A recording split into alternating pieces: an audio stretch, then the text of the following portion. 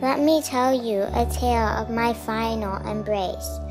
I was born to a noble, courageous, and intelligent man who brought me up for four years within his shrouds of love.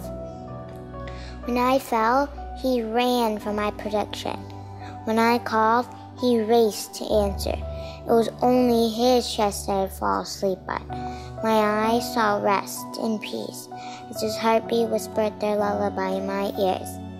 However, one day my father stood up against the tyrannical king of the time. He stood against the cruelties done to his people. He stood for justice, freedom, and liberty.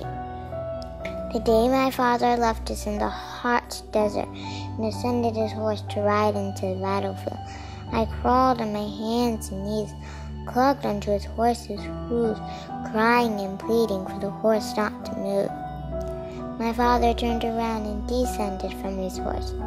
He smiled as he opened his arms to me, and I ran into his cuddle, unknowingly that this was our final embrace.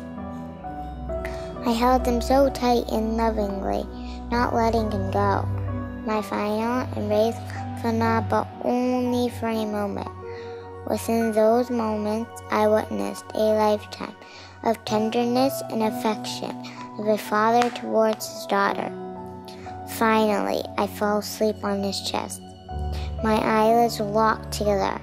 I saw women and children calling out for freedom, a freedom my father had vowed to fight for.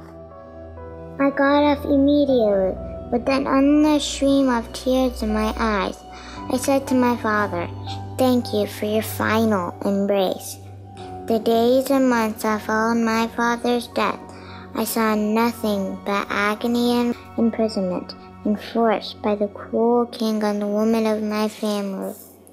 However, I stood up tall, held my head high, and spoke boldly of my father's great mission and his heroic sacrifice. Hence instilling courage in the hearts of people, leading to an imminent revolution against a despotic ruler.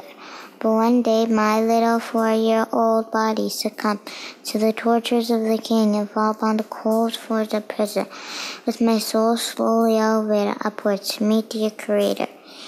In His infinite mercy, He returned me to my beloved Father, not for a final embrace, but for an eternal embrace.